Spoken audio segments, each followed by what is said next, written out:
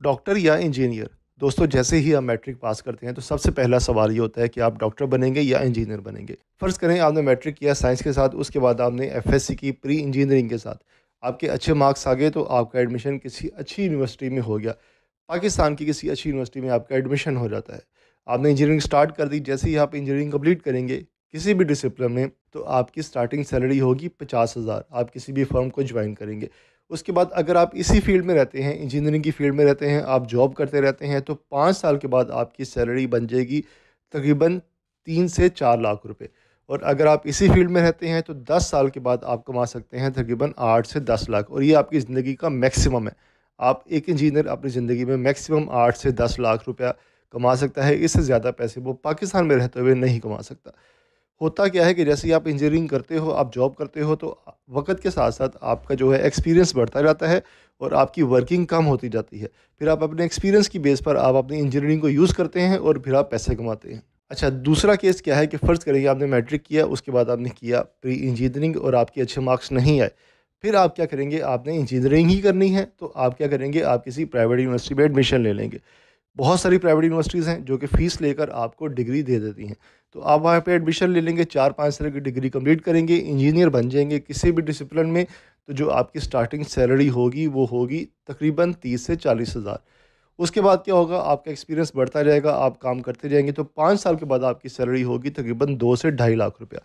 अगर आप ऐसे ही काम करते रहेंगे तो आठ से दस साल के बाद आप जा सकेंगे तकरीबन चार से पाँच लाख रुपया।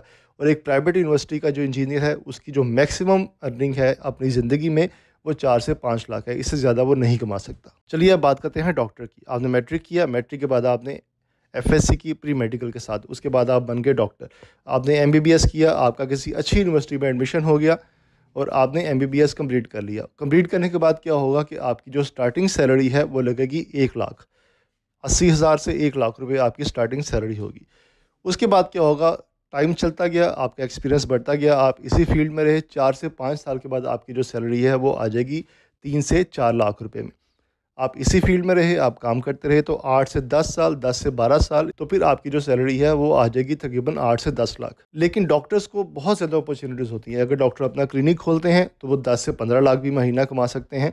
और इससे ज़्यादा भी कमा सकते हैं। और अगर वो पाकिस्तान से बाहर जॉब करते हैं, जो कि बहुत ज़्यादा डिमांडिंग है तो फिर क्या सीन है कि आप पंद्रह बीस लाख से ज़्यादा भी आप पर मंथ कमा सकते हैं। अच्छा दूसरा केस क्या है कि आपने मैट्रिक किया, आपके मार्क्स अच्छे नहीं आए, आपने एफ़ एस प्री मेडिकल कर ली, ज़बरदस्ती कर ली, आपके फिर भी मार्क्स अच्छे नहीं आए तो फिर आपने बनना है डॉक्टर बहुत सारी प्राइवेट यूनिवर्सिटीज़ हैं, जो कि पाकिस्तान में हैं, चाइना में हैं, जो कि आपको थोड़े से पैसे लेकर थोड़े से तो नहीं, ज़्यादा पैसे लेकर आपको डॉक्टर की डिग्री दे सकती हैं। आपने चार पाँच साल लगाए किसी भी प्राइवेट यूनिवर्सिटी में और आप डॉक्टर बन गए। अब डॉक्टर बनने के बाद क्या होगा? आपको जॉब का मसला होगा। सबसे पहले फ़र्ज़ करें आपको किसी प्राइवेट हॉस्पिटल में जॉब मिलती है तो आपकी स्टार्टिंग सैलरी होगी पचास से साठ हज़ार।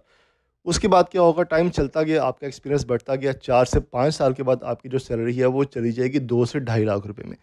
उसके बाद क्या होगा? आपका एक्सपीरियंस बढ़ता जाएगा, चलता जाएगा टाइम चलता जाएगा। दस से बारह साल के बाद जब आपके करियर का एंड होगा तो फिर आप सैलरी जो अप्रोच करेंगे, वो करेंगे पाँच से छः लाख मैक्सिमम एक प्राइवेट डॉक्टर जिसने प्राइवेट यूनिवर्सिटी से कोई भी डिग्री की है, चाहे वो एम है, चाहे बीडीएस है, चाहे डी फार्मेसी है तो वो मैक्सिमम अपनी लाइफ में पाँच से छः लाख रुपए में जा सकता है। अब डिसाइड आपने करना है कि आपने डॉक्टर बनना है या इंजीनियर और आपने कितनी मेहनत करनी है, कितने मार्क्स लाने हैं, और आपने क्या बनना है। बहुत शुक्रिया इस तरह की मजीद वीडियोज़ के लिए हमारे चैनल को सब्सक्राइब करें, इस वीडियो को लाइक करें और ज़्यादा से ज़्यादा लोगों तक शेयर करें।